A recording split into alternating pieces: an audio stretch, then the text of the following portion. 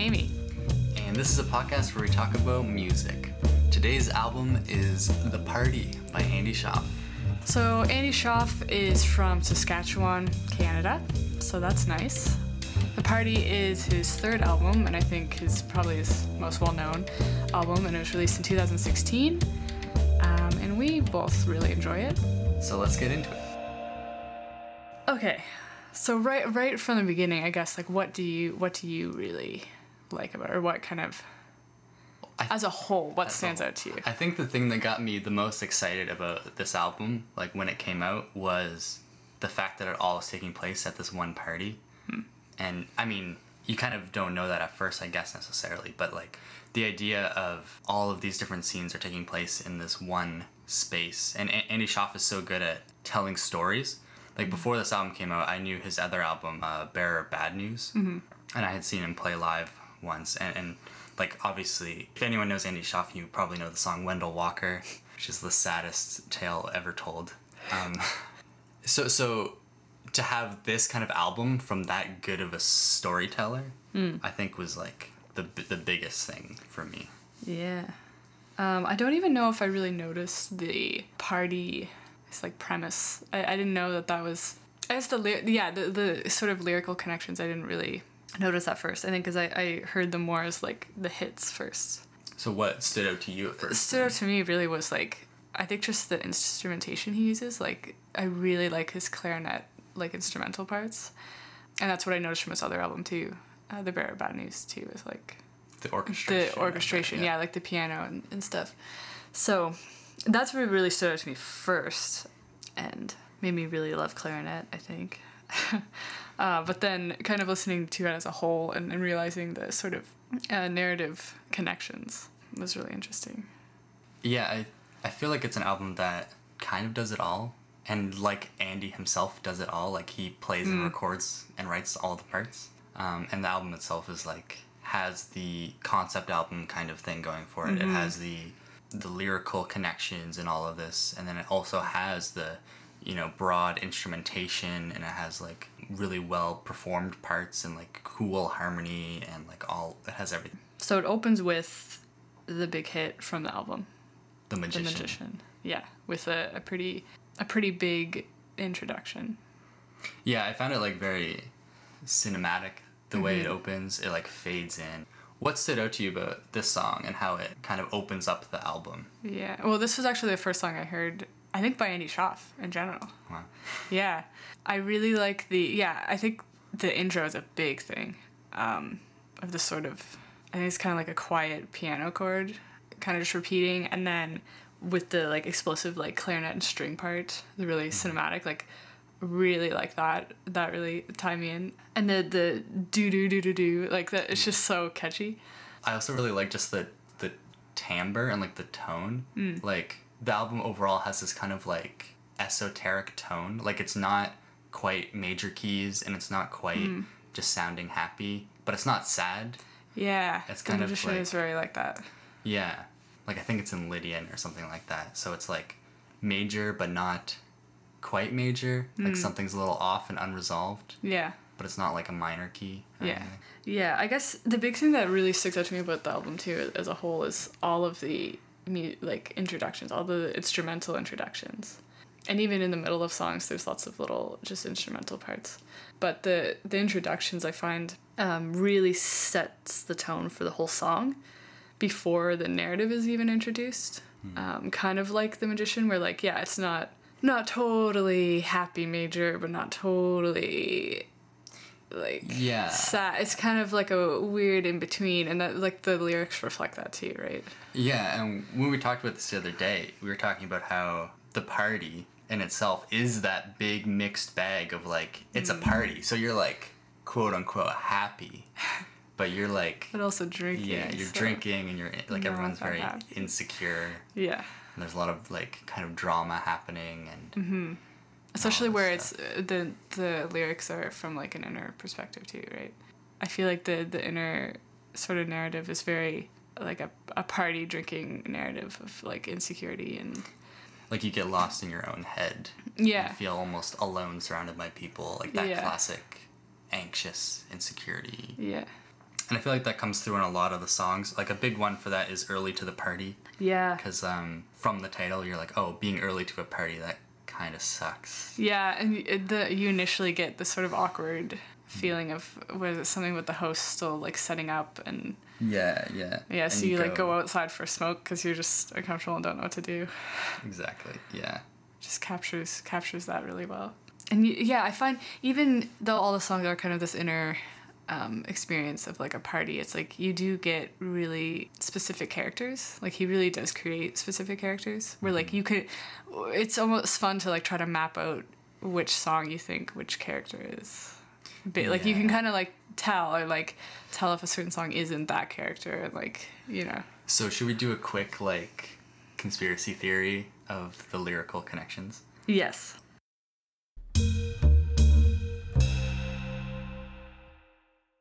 The only two character names we get Yeah. are Jeremy and Sherry. And well, Martha. And Martha, I guess. But Martha's- yeah. And Alexander. yes. Okay, so we get four. We get a few, but like I feel like Martha and Alexander are more isolated. Yeah, more standalone songs. Maybe. Maybe. Maybe.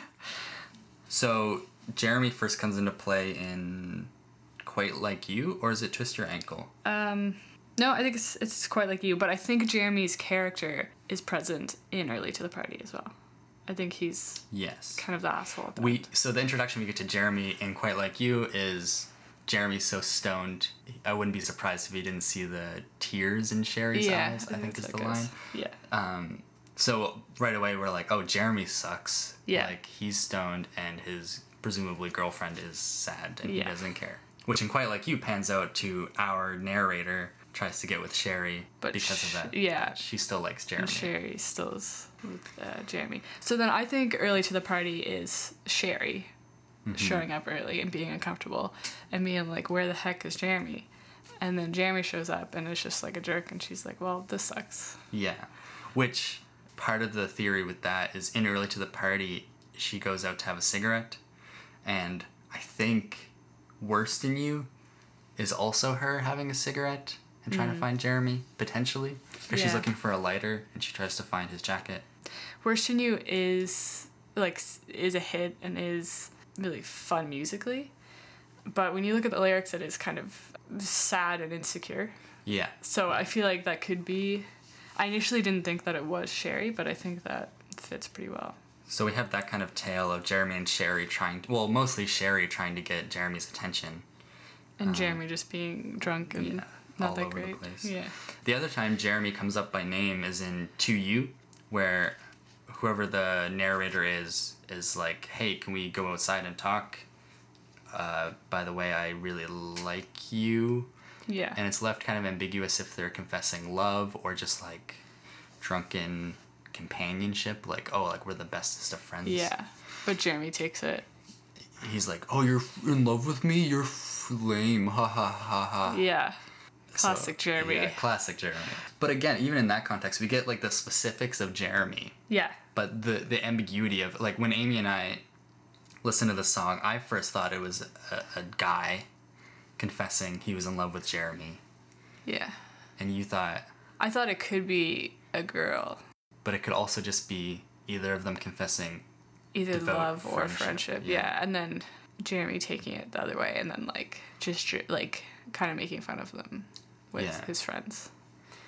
So I, I think that's like a very good highlight of how Andy Shauf makes it so that you can relate to the narrator or the main kind Yeah. of inner of each so song. ambiguous. by leaving that self ambiguous, but then creating it like making it very realistic by providing details and conversational Yeah. elements and like names of Jeremy, for example, because no one wants to relate to, Jeremy anyway. But yeah, but there are like really specific details left out. I guess it's kind of interesting. It's like the details are left out about the um, person thinking it, right? So it's like they don't they don't need to specify those um, details because they already they already know themselves. You know, it's like they don't have to describe who they are. It's just You know. yeah, just how they like you were saying. It's like their thoughts and their reactions Yeah, because that's what would like go through your head. yeah. if you're in that You're not gonna really react to like, I guess who you are. It's more like what is actually happening. Um, so that ties together a lot of the songs on the album, honestly. Yeah, a lot of the the Jeremy ones, anyways. Yeah, which so that was uh, early to the party, quite Yeah. like you, worse than you, to you. So that seems like a You- longer, you- a longer, um, like narrative, not arc, but just like Yeah. plot, I guess, or like kind of a through line through it Yeah. And then also, we were thinking the magician, twist your ankle, and begin again are all kind of related. Yeah, I don't remember the begin again. Begin again is just very. Maybe it That, was that's a else. Jeremy one too. Begin again is Jeremy, because it's the guy saying that he doesn't care if Jeremy's fooling around with another girl or with Sherry, but the narrator wants the other girl that Jeremy's fooling around with. Yeah, so begin again is kind of a sequel to Quite Like You. Then uh, yeah, because kind of. Um, Sherry puts her arm around Jer- Jeremy's Yeah. back. It's one guy wants Sherry, Sherry wants Jeremy, Jeremy wants Sherry and other girls, and this other guy wants the other girl that Jeremy is with. That's right. Yeah. So again, Jeremy sucks. So big love triangle, square, Yeah. pentagon. Uh, this It's a very large. Yeah. uh, at, at this party, um, which I guess is kind of party-ish, right? yeah. Yeah. but yeah, I, I kind of made the connection listening to the album and, and, and kind of making notes about it of uh, The Magician and um, Twist Your Ankle. As sort of the magician is, it seems like people kind of witnessing, people at the party witnessing this person drinking a lot and like, I, I took it as almost like life of the party, like fun. Yeah, like he's like showing off. and, Yeah. like people like him, but maybe not. And then Twist Your Ankle is more from the magician's point of view of being like, why are these people laughing at me? Yeah. Yeah. like just like Everybody's- uncomfortable wants to just go home like wish it like they didn't come out um, mostly like the big thing was the do do do's in it because there's like also that in twist your ankle that's really similar Yeah. So you, as the magician you said the only time do do do is sung, it's on the magician and twist your ankle. Mm-hmm. Yeah. And it's slightly different. and they both seem like like i don't know the magician is like everyone's laughing at the magician and then the twist your ankle is like everyone's laughing at me Yeah. or it's yeah. like kind of like And my, my like pet theory or whatever is that the magician makes it disappear, and I think that that's him drinking all his Yeah, alcohol very fast, heavily. and thus making a fool of himself a lot Yeah. quicker than everyone else. and like people at the party like thinking that's funny the like yeah obnoxiousness Yeah. of it is funny where the magician just like feels bad about it And you can imagine people almost like cheering him on. But Yeah. Then, but then when he's actually like just drunk and stumbling, it's like that's just yeah like oh you're pathetic, dude. Yeah. Like, and yeah, it would just make him feel anxious or her, I guess. yeah where the yeah the the magician there's no gender i don't think there's gender specified No, and that's the thing with most of these songs. There isn't gender. i'm trying to think if in the magician there is but maybe Mm-hmm. not yeah gender isn't really specified though it's only when there's like names i think Yeah, and even then, yeah it could be, I guess, not specified. Yeah. I think that was the big I think big conspiracy with that I noticed. The the Twist magician. I don't know if there's any other connections lyrically. And I mean that ties most of the songs together, except for the last three. Yeah. All seem kind of standalone. Yeah. Kind of just other people at the party. Yeah. I mean, and that's the thing is, it could be similar characters. Mm-hmm. Like Eyes of Them All describes a girl dancing on her own. That Yeah. could be Sherry. That could be one of the girls Jeremy's Yeah. uh, sleeping with or something. Mm. But Also like worse than you could be literally just like yeah, a random couple or something. that's true. Yeah, by no means are we saying this is what Yeah. all of this means. I mean worse than you could literally not even be a couple. Yeah, it could be friends. It could be friends with like maybe one person's interested in the other one. Yeah. I kinda like that. I feel like it's like whatever Yeah. it is to you. There's lots. like, yeah. Which is fun, which is like yeah, really fun lyrically to uh, we should talk about Alexander All Alone. Yes. We both had different perspectives on those lyrics too. Yeah. I, I for some reason I thought he fell, was pronounced dead, but was resuscitated. Hmm. And you thought he just died. I thought he oh, straight up died. Yeah. And hit, the whole song is kind of from his like out of like the first part is like not really from his perspective because it's more mm-hmm. just saying what happened. Like he goes up for smoke, falls down, and then it's suddenly from his perspective of like him having this being dead, having an out, out of body experience, like mm-hmm. after death, being like, oh, what now? Nothing happened like it's supposed to happen. Yeah. The main refrain being, "If hell is found inside of me, nothing else can set me free." right? Yeah. So like, If hell is found inside of me, open me up and spill me out. Yeah. yeah. So I guess it doesn't matter what happens because the main point of the song is death isn't a relief from I was- yeah. shitty. I guess, yeah. Or just like maybe death is like I took it too as like our perspective of death isn't correct or like what happens isn't correct. Like or or it's not what he expected at the very Yeah. least. Yeah, and there's so few lyrics in that song Yeah. too that it's like really ambiguous what Yeah. Happened. even him just like dr- like it's not even explain what happens to him. Yeah. Of just like it's not a big dramatic death. It's just like he's just dead all of a sudden. he like was smoking and then fell. yeah, And then the neighbor yeah. saw him or something and they called the At like a party, like no one notices. Yeah. Like Yeah. kind of, I guess, just challenging like normal or more dramatic depictions of death. I guess. Yeah, it's very In a way. like nonchalant More- in a way. Yeah, which is kind of weird. But yeah, still like it's never really confirmed if he comes back to life or if he's dead. Like again, another like ambiguous. Yeah. You're probably right. He probably did just die. I don't know. I don't know. And then the last song we should talk about Yes. um, Martha Sways. Yes. I love that this song closes the album. Maybe maybe we should save this Yeah. for the Let's end. save this for the end. Let's maybe just talk about more of the musical elements. Mm-hmm. Now that we've done our um, conspiracy theories. Yeah. All right. So, since we tackled the uh, lyrics.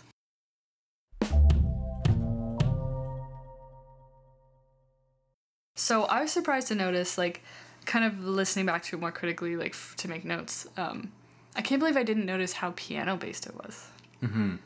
I don't know why it didn't stick out to me before, but like all the songs are like usually piano or there's odd like kind of fun one that's actually like bass. Bass is largely driving it. Yeah, there's a lot, like so many great bass and drum grooves. Mm-hmm. Like I think especially I have it noted early to the party has Mm-hmm. a really sweet groove. I think Eyes of Them All is very similar. Yeah. Like just very like upbeat and like Andy Shauf is just great at syncopation too. Like Mm-hmm. it's very like driving for it. Even the melodies I found were like they're really catchy, but they're not just like straight Yeah. melodies. They're like weird. Especially Eyes of Them All or like it's very Yeah, just continuous like it's very looping and like Yeah. off kilter too, which goes along with what we were saying about the tone of it being happy but not quite happy. It's like catchy and on the beat but not quite on the beat. yeah. If that makes Yeah. sense. It's also like I don't know, drinking at a party. Yeah, you're not gonna be You're not into quite on the beat. Yeah. To talk about the piano again too, Mm-hmm. I I think it's most notable because his previous album was I think mostly guitar and voice. It was Yeah. guitar based with piano and clarinet as like texture. Yeah. Where this one is like mostly keyboard based, like piano Yeah. mostly, and then if guitar is there, it's like acoustic guitar way in the background, Yeah. or it's There was electric one, guitar. yeah. There was one song that has a little instrumental part that I think is electric guitar. I don't remember which one it is, Yeah, I think there's. but I think there was like one song. whenever there's those melodies, Yeah. the like really upfront melodies, it's like a guitar layered with a like a keyboard. Yeah, some sound. but you don't really hear the guitar very much. No, and more it's just makes it thicker, I guess. That's the other thing. The the sounds are so thick Yeah. and lush on this album. Like the chords, there's like seven strings and Yeah. like a clarinet. I think and, like- because of that, is like whenever there is a melody, it's not just one instrument doing it. Mm-hmm. Like that's I noticed the magician like listening back to the intro.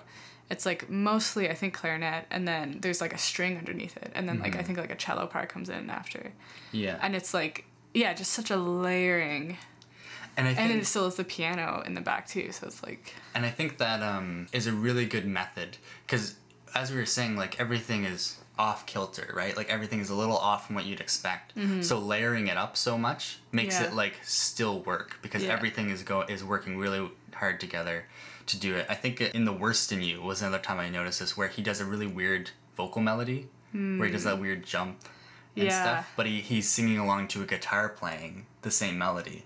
So it makes it like this weird kind of janky sounding melody fits really well because like oh the guitar's doing it too Yeah. and like everything is kind of supporting yeah. it.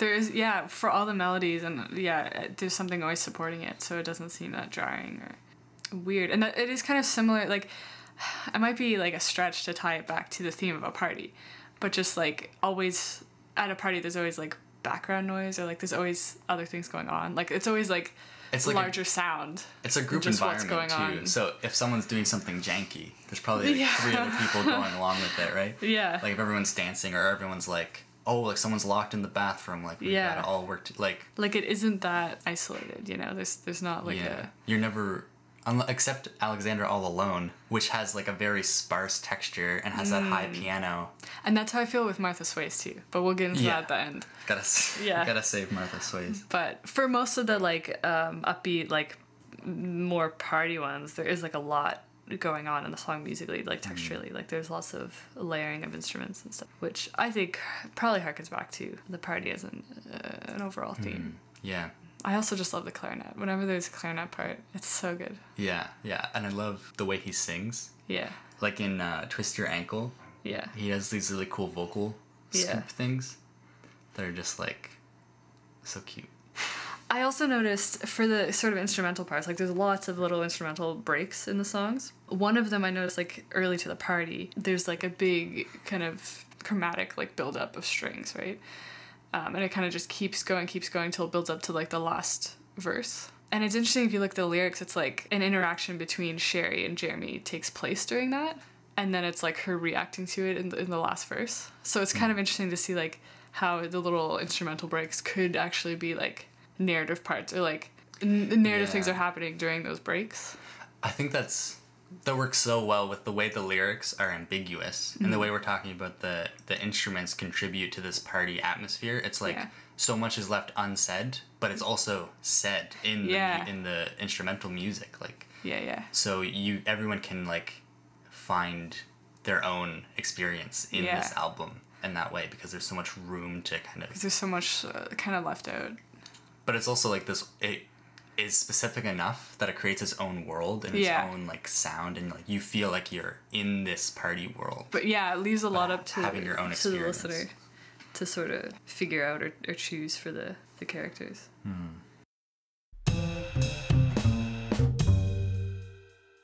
so now begins the segment where we talk about our personal highlights from the album I know we haven't really talked about Martha Sways yet, but I want to start with just the string part in that. I feel like it really, it just musically, it's really pretty and like it's such a simple song and it, it adds a lot more to it rather than him just playing guitar and kind of mm. singing the lyrics. Um, and then it also, I think, adds to the character because the strings, like, they're pretty, but they kind of get like dark and creepy. Mm-hmm. So it's like, I feel like it's them dancing mm-hmm. and kind of him in his inner mind, like freaking out a little bit. Yeah, like not yeah. feeling good or like realizing he's very not inner happy. anxiety Yeah. So I really liked that aspect of the song. i'm just going to do two quick little highlights Okay. that are kind of referential i noticed in quite like you he never actually says quite like you Oh yeah. he just says like i've never met someone like you Hmm. but if you called it someone like you it would be exactly adele Yeah. so that's funny um, I really feel like that was intentional. And then also in to you the way the chords are it has this little it does like a couple chords and then it does like a little chromatic three note thing when it goes back to the beginning of the chords Hmm. which is exactly imagine by uh, john lennon Ah. which I thought was funny. I don't know if those are actual references, but which goes back to another highlight I actually wanted to bring up was I think I showed my dad Worse Than You, and he was like, "This sounds just like the '70s or something," and I was like, "Yeah, I guess." yeah, version you kind of I get that. And I, I feel like It's like there's a lot and of sweet uh, and like there's a lot of like retro vibes hmm, yeah. to some of it. So I don't, I don't know if it's intentional for him or Well, even the like I don't know if the Rhodes sound is that present on the whole album, but even Yeah. like the Rhodes sound is pretty retro. yeah, just like the keyboard sound in general, Yeah. and having like melodies like that Yeah, with guitar and piano. it's almost like an old folk sound, Yeah, yeah, and yeah, short and sweet adds to Yeah. that too, and like especially Worse Than You is like pretty short, very short yeah, I think it's like the shortest song. That's interesting. I never really thought of that, but he does have kind of a retro feel. Yeah, so I, I he was probably just listening to that kind of music, or or maybe it's an intentional Hmm. I feel like that might be slightly just his sound. that too, yeah. Though it is different from his other, Yeah, I guess his his other album isn't that retro feeling. Yeah, it was more folk, I guess. Yeah. The next sort of highlight that I have is um kind of the ambiguous lyrics and just the the really um the lyrics being an inner reflective experiential. Like I really thought that was interesting to have a folk poppy album like having the lyrics that ambiguous and and sort of of inner reflection. Yeah, rather than a lot of singer songwriters who are very like ego-y or like Yeah. this is my breakup. Yeah, it's not such a direct like you get you get how the character feels through their uh, reflective of an experience rather than them being straight up like this is how I feel. Yeah, and we're not getting Andy Shauf's. Yeah, Experience. yeah, yeah. We're not. No, yeah, it's not his at all. Which, again, is interesting. Yeah. And I that was one point I really liked. I think I've always found that interesting in his music is they're always very like personal stories, but they're not his Yeah, personal stories. yeah. I mean that we know of. Yeah. Maybe he's Jeremy. Maybe he's uh, Wendell Walker. My next highlight is um, in Quite Like You, at the very end. So we have this like song where like narrator's trying to get with Sherry, and is like ripping up Jeremy, and then at the end Sherry puts her arm around Jeremy, and there's this super dramatic chord that just fades Yes. out, and it's Yeah. like it's like such a like um is it the dramatic gopher little video? Do you know that? I have no idea what you're talking about. There's a little meme video of a rodent that just like looks straight at the camera and there's like a really loud oh, sound. oh, I, yeah, I think I know what you're talking about. Yes, Yeah. that's like the narrator. Yeah. Just like what? yeah. It's like over the top kind of. I th- yeah, I thought that was interesting too. It's such an abrupt ending, Yeah. Yeah. and then and then you're kind of left to like imagining how that character's. Yeah, Like you yeah. don't get how he reacts to that. It's just like straight up what happens. I feel like a lot of the songs end kind of like that. Like early Mm-hmm. to the party, I think ends like that. Like like very just kind of like. And now we're looking at something else. Like Yeah. not like anything resolves. Yeah. Like you got a moment, a little moment of something, and then it just goes on to the next thing. Yeah, Where like you, again, it's kind of like you are left up to decide how. It's How very they like deal with it. Mm. cubist or like collage like or something. Like you're not tying things up in a bow. Yeah.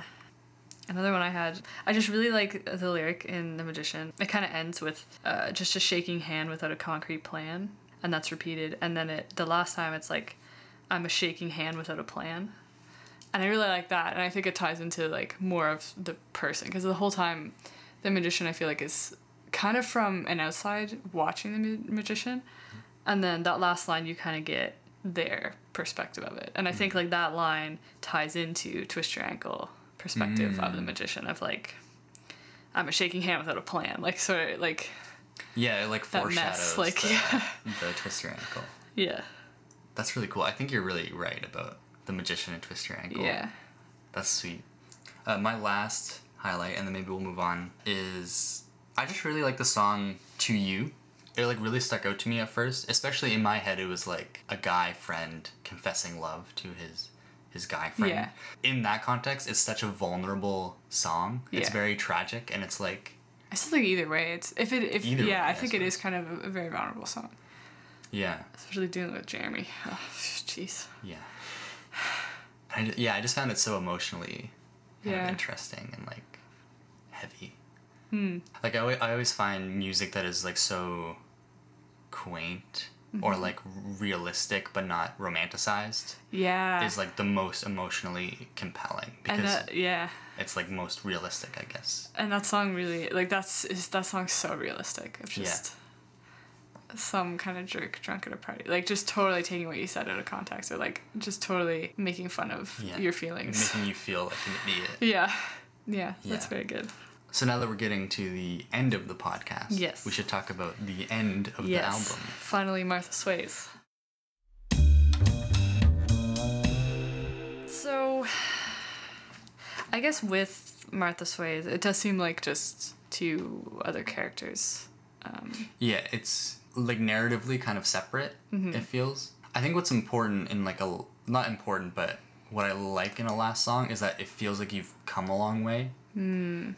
And because I do like listening to albums kind of in order and as a whole thing, um, and this song does really well at that. Yeah. I feel like the way that it starts with just guitar, which like we were saying, there's not that much guitar in the album Mm-hmm. yeah too. So it's almost a more vulnerable state. And it's Yeah. kind of like slower than you'd expect. It feels like it's dragging and stuff. So it's it's totally different than every other song on the album. Mm-hmm. Totally different. Where I think it is, I think it's just his vocals, guitar, and the strings. yeah, there's bass too. is there I bass? I think there's bass. But I think this is generally all the songs could be in different orders and stuff. It seems like it's going from early in the party to later in the party. Yeah. I feel like The Magician is at the beginning because it's the hit and it's a really good opening. Yeah, you were saying it might take place But later. I feel like the original order would be like early to the parties first, then maybe mm-hmm. the magician twist your ankle, and then the rest of the order. Because it kind of mm-hmm. goes like early to the party is like such beginning of the party. Yeah, literally and then called it early to the party. starts kind of amping up, and then you get the more hits, fun, Mm-hmm. and then it slows down a bit with like Alexander All Alone is kind of Even to you, the first few songs all have the slower vibe and slower mm-hmm. introduction, and then quite like you is much. Like more Worse Than You upbeat. Begin again, worse than you is very upbeat. Yeah. So it does feel like people are getting drunk. Yeah. And like being More more, uh, energized. peak of the party, Yeah. right? But then Martha Sways is it feels like people have left the party. Yeah. There's some people left. it's way more sparse of a song, yeah, right? way more sparse. It's not Yeah. the same layering as If we we're relating the background sounds to the instrumentation, Yeah. this instrumentation is less. Yeah. So there's less people potentially. Yeah. And it's just two characters dancing. Mm-hmm. One of them's named Martha. We don't know anything about the other one necessarily. Just that they're sad. we had different theories about that too. It seems like there's a breakup of some sort Yeah. with someone else that or like Martha. maybe not even a yeah i guess breakup because yeah just someone still being in love with someone else but then maybe trying to be with someone else a new person Yeah, like to feel better. It's uh, Martha's thin, pretty just like you. So it's Yeah. like the character's comparing Martha to someone else the whole time. yeah. And they're really sad. Yeah. So like you were talking about that string part. yeah. He- it uh. literally at one point he says, "And I want to die," yeah. And the music like yeah. pauses and like does this dramatic, yeah and li- right after he says that. And then it comes back like in, dancing, dancing in, in your her eyes, yeah, yeah. And then just keeps going.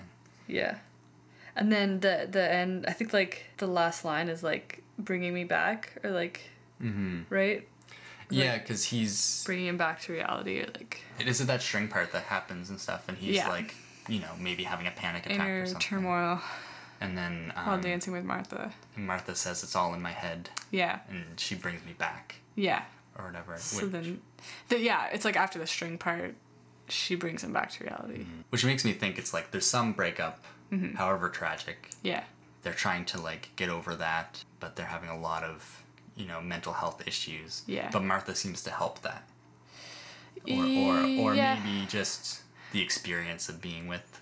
I don't even see Martha as helping, to be honest. She yeah, I guess she pours him a drink, and like It's more like, yeah, I've, even like her just saying it's all in your head and stuff like that. Like, not that it's Martha's fault or anything, but just like I don't think it's helping. I don't think they're moving on with Martha. You know? I'm a little more optimistic. I think. Yeah. I feel like Martha's Martha's cool beans. You know, she's hanging She's out. probably cool, but I think this person is still well, the character. It, isn't working. not yet. Maybe. Yeah. I mean, at least they're not alone.